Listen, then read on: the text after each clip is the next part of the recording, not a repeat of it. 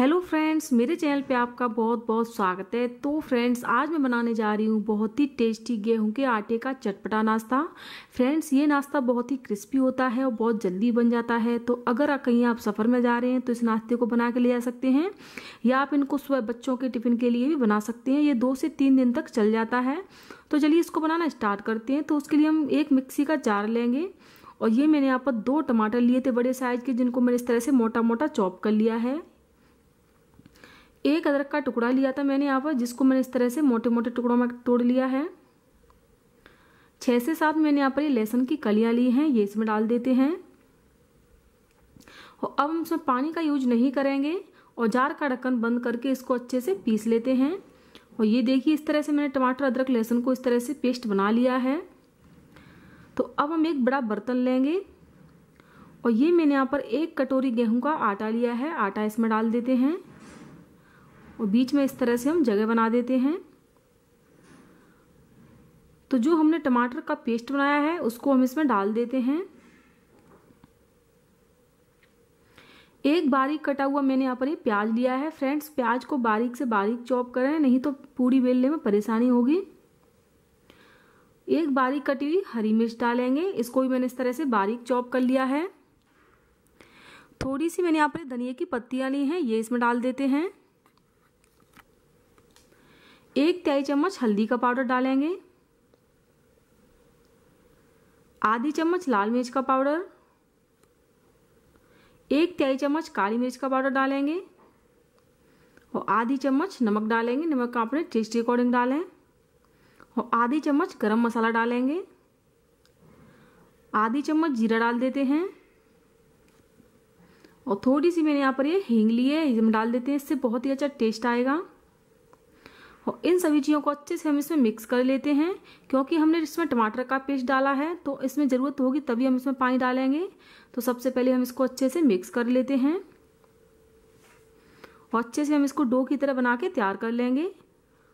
ये देखिए भी थोड़ा सा सूखा सूखा सा लग रहा है तो जिसमें मैंने यहाँ पर पेस्ट बनाया था, उसी में थोड़ा सा पानी डाल के इसमें हम मिला देते हैं। अच्छे से इसको गूथ लेते हैं। हमें इसका आटा थोड़ा सा टाइट ही लगाना है। जिस तरह से हम पूरी बनाते हैं, बिल्कुल वैसा ही हम डो लगा के इसका तैयार कर लेंगे। और ये देखिए, जो हमने टमाटरों का पेस्ट बनाया था, उसी से इसका डो लग गया है। हमें इसमें एक्स्ट्रा पानी डालने की ज़रूरत नहीं पड़ी है।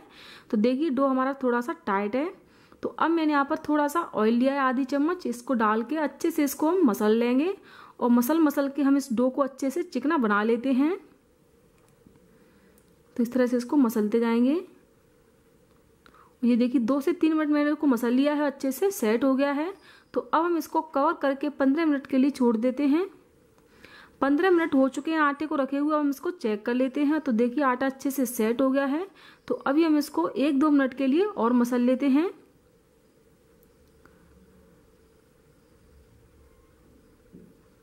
तो ये देखिए, इस तरह से मैंने आटे को अच्छे से सेट कर लिया है।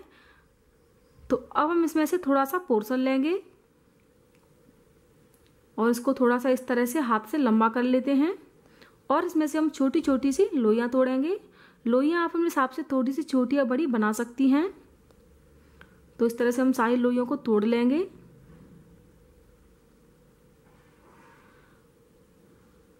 तो इसी तरह से हम और तोड़ लेते हैं और इनको हम चिकना बना बना के तैयार कर लेंगे इस तरह से।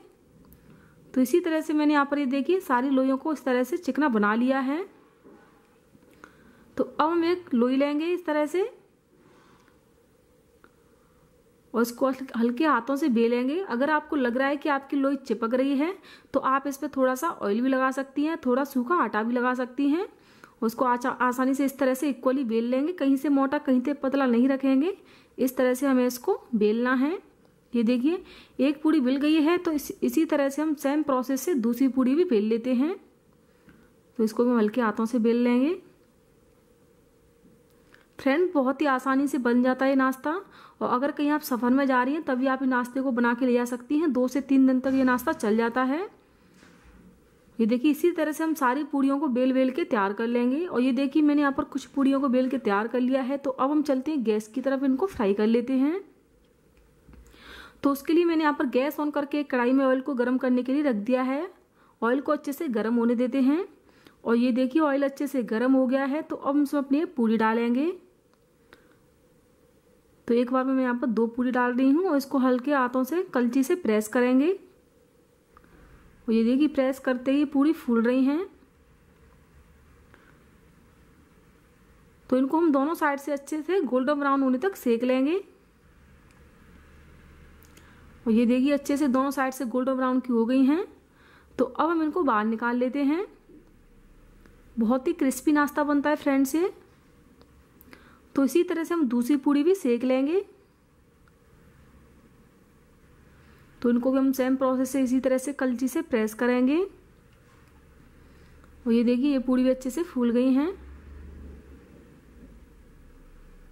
तो उनको भी हम दोनों साइड से इसी तरह से गोल्डन ब्राउन होने तक सेक लेंगे।